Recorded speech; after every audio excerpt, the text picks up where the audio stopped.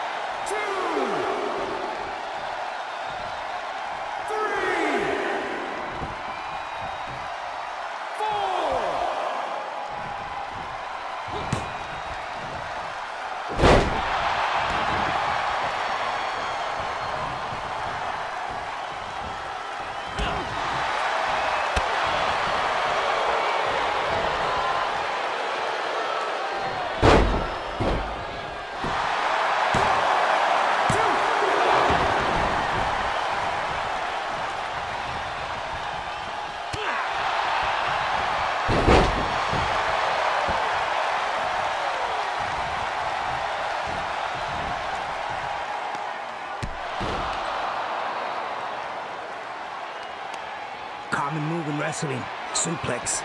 Usually I didn't see this happen because I was on the floor. And I'm glad I didn't, because I would have got right back up and kicked him in the face.